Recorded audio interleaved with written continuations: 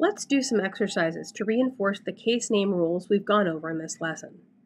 For the following two problems, generate the case name as you would use it in both a textual sentence and a citation sentence.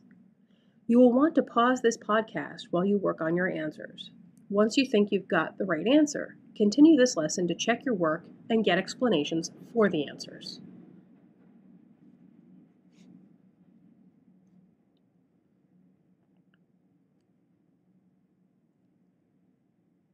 Let's check your work. Exercise 1 asked you to abbreviate Mary T. Akuchuk versus the United States of America in both a textual sentence and a citation sentence. Let's look at the textual sentence. The case name should come Akuchuk versus United States. Where did I get that answer from? Well, first, remember that we eliminate given names and initials for private citizens. Therefore, we cut Mary T. The other party is the United States of America. We know from 10.2.1 that we cut the as well as of America, leaving us with just United States. Because United States is a geographic location, we might be tempted to take a look at T10, but remember, we don't abbreviate geographic designations in textual sentences. Now let's look at the answer for the citation sentence. The answer is the same. Under 10.2.2, we abbreviate anything that could be abbreviated under 10.2.1. So let's start our cite from that point and ask if anything else may be abbreviated. Akuchuk is a surname and not a word that is susceptible to further abbreviation under T6, though it is over eight letters long. United States is that geographic location again, but it can't be abbreviated further because it is the entire name of the party.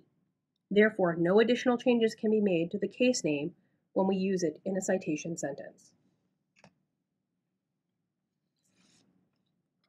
Now let's take a look at your answers for exercise 2, starting with the textual sentence. The first party listed is Union Pacific Railroad Company. Well, that will become Union Pacific Railroad. We can cut company from the case name because it is the second business designation in the party's name.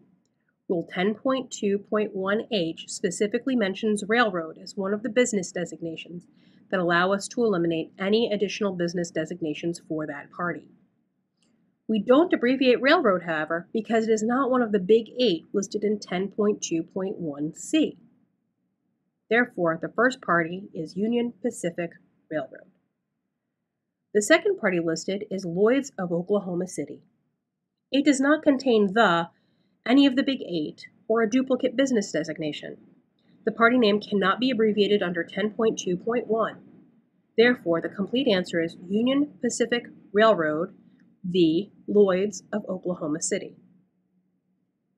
Now let's take a look at that case name in a citation sentence. Remember, we're going to start with our answer from the first problem because you need to abbreviate anything listed in 10.2.1 as a first step in forming your citation under 10.2.2. From there, we can further abbreviate the case name. Starting with the first party, we have Union Pacific Railroad. Let's look up each word in the party's name in T6. Union is not listed and contains only five letters. It will not be abbreviated. Pacific is listed and will become PAC period. Railroad is also listed and becomes R period R period, closed up without any spaces. The first party therefore is Union space PAC period space R period R period. Remember our spacing rules from last week. We close up those adjacent capitals but put a space before and after a longer abbreviation, such as the abbreviation for Pacific. Therefore, make sure you put that space between Union and PAC and PAC and RR. The abbreviation for the other party requires us to look at T10 because it contains a geographic location in the name. Oklahoma City is not one of the cities specifically listed on page 437 under cities. But T10 tells us that we should also abbreviate city names by using state abbreviations where appropriate. Therefore, Oklahoma City becomes OKLA period space city. You've now completed Bluebook lesson number three. If you have any further questions, see your LARC instructor or your TA. You're ready to complete Bluebook Homework 3.